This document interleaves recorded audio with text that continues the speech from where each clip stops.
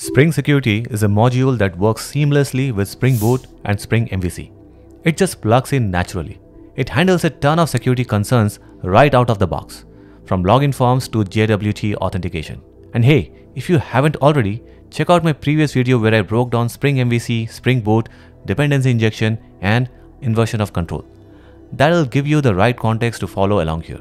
In this video, we'll break down what Spring Security is, dive into how it works under the hood, filters, security context, user details, password encoding, and then build up step by step how to use it in real app.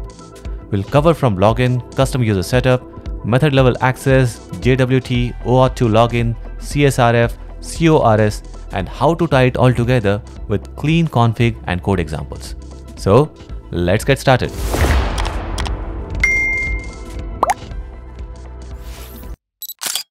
Spring Security has two main goals authentication and authorization. Authentication is about verifying who the user is, and authorization is about checking what the user can access. It is a powerful framework that plugs right into your Spring app and handles authentication, who you are, and authorization, what you are allowed to do. And it's not just about login pages. It also handles password encoding, role-based access control or RBAC, session management, OAuth2, JWT, and more. And it does all this with sensible defaults, but also gives you full control when you need it.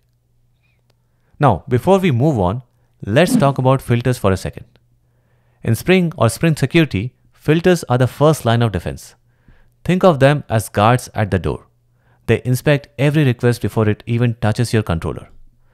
Spring Security gives you full filter chain of built-in filters like username password authentication filter, which handles form login, processes login forms, reads username password, and triggers authentication. There is also basic authentication filter that handles HTTP basic auth. It reads authorization basic headers and validates them. Bearer token authentication filter is used for OAuth2 resource server or JWT bearer tokens. It expects an authorization bearer token header and verifies it if you are using Spring's built-in resource server support. And by the way, I have done deep dive videos on both OAuth 2.0 and JWT. So if those concepts feel a bit fuzzy or unclear, definitely check those out later. Links are in the description or you can find in my security playlist also listed in the video description. Now sometimes you might want to add your own filter. That is when you are doing something custom. For example, if you are rolling your own JWT login system, like manually creating tokens on login, storing them on the client, or validating them yourself, then you can implement something like our JWT auth filter, basically adding a custom filter into this chain. And here is hmm. how to plug it in. This tells Spring Security, hey, check this token before trying any standard username password authentication. Note that custom filters can be placed anywhere in the filter chain, before or after specific built-in filters. And you can define the position explicitly using this code. So when a request hits your app, Spring Security intercepts it using a filter chain, like a gatekeeper that decides, is this user authenticated? Do they have permissions to access this endpoint? If not, it blocks the request or redirects to login. It uses the security filter chain, and behind the scenes, it connects with user details service to load user information, typically from a database. Here is the flow at a high level. User sends login credentials. Spring Security's filter captures the request. Spring Security then needs to fetch the user details like username, password, and roles. That's where user details service come in. User detail service answers the question, who is the user? It's an interface with a single method. You implement this to tell Spring how to find users, maybe from an in-memory store, a database, or even an external API. This basically tells Spring, here is how to look up a user from my database. Now, Spring doesn't store passwords in plain text, thankfully. It needs a way to compare the hashed password from your database with the password the user typed in.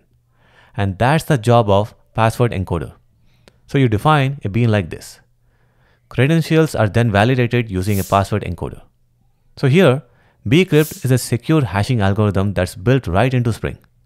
When the user logs in, Spring will take the raw password from the login form, hash it using this encoder, and compare it to the hashed value from your database. If the match, authentication is successful. It creates a security context and stores it. Every future request uses that context to verify access. Let's see it in action. First, add this dependency to your Spring Boot app. And boom, your app is now secured. By default, every endpoint requires authentication, Spring auto-generates a login form, and a default user is created with a random password. Check out your console. Now let's say you want to define your own user instead of using the default. And this is how you configure this. Here, this code registers an in-memory user named admin with password password123. Now let's say you only want admins to access slash admin and everyone to access slash public. And so here, this code gives you fine-grained control over who can access what. And if you want to let users log in with Google, GitHub or Facebook, Spring Security makes this super easy. Here, if you add this to your application.yaml file, Spring will automatically generate an OAuth 2 login page. It will redirect to Google and handle the callback. But here is the important part. Don't hardcode this in your source code or commit them into Git. Instead, use environment variables or external config files and reference them using placeholders. This way, you're not leaking sensitive data and your secrets stay out of version control. I have also talked about CSRF or cross-site request forgery previously in detail. Spring Security enables CSRF protection by default for non-GET requests such as post, put, and delete. This helps prevent unauthorized commands from being sent from authenticated user's browser. But if you are building a stateless REST API, it's common to disable CSRF. Why? Because in stateless apps, there is no session, no cookies. So CSRF attacks aren't effective. I have also covered CORS in detail in my previous video here. It stands for Cross-Origin Resource Sharing. It's basically a security feature built into browsers that block mm-hmm. requests made from one domain to another, unless the server explicitly allows it. For example, if your frontend is using HTTP localhost 3000 and it tries to call your Spring Boot backend at HTTP localhost 8080 API, without CORS enabled, the browser blocks that request with error like this. Spring Security blocks CORS by default. You need to configure it in two places. First, you define CORS mapping configuration to allow specific origins. For example, here we set allowed methods to get, post, put, and delete, and set allowed headers to authorization and content type. And then you enable it in Spring Security. So you add this code in your filter chain. Basically, CORS is enforced by browsers, not Spring. Spring needs to be told, yes, it's okay for this frontend to call me. You fix it by defining allowed origins and plugging CORS into the security config. As you have seen so far, Spring Security gives us powerful annotations to control access at the class and method level. And here are some of the ones you'll use most often. Add Enable Web Security turns on Spring Security for your application. Without this, your security config won't kick in. Add Enable Method Web Security is a new way. This enables method level security using annotations like add pre-authorize. In older versions, this was called add enable global method security. Add pre-authorize is used before a method runs, and it's great for fine-grained role-based checks. It also supports SPEL or Spring's expression language, so you can even do like this.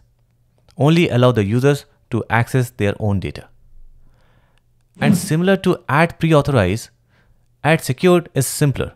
It just checks for roles. It's less flexible than add pre-authorize, but still widely used. So, those were the four most common annotations you'll use a lot. As you go deeper into Spring Security, you'll come across more powerful annotations like add roles allowed, add with mock users, and others for method level and testing scenarios. But don't worry about memorizing them all now. You'll pick them up naturally as you start building more secure and complex apps. Alright, we have covered a lot in this video, from how Spring Security works behind the scenes to filters such as JWT, OAuth 2 login, CSRF, CORS, and even method level access controls using annotations. It might feel like a lot at first, but once you understand the flow, Spring Security becomes one of the most powerful tools in your toolkit. It handles security in a clean, pluggable, and very Spring-like way. And if you found this video helpful, drop a like, leave a comment with what you want me to cover next, and of course, subscribe if you haven't already. I'll see you in the next one.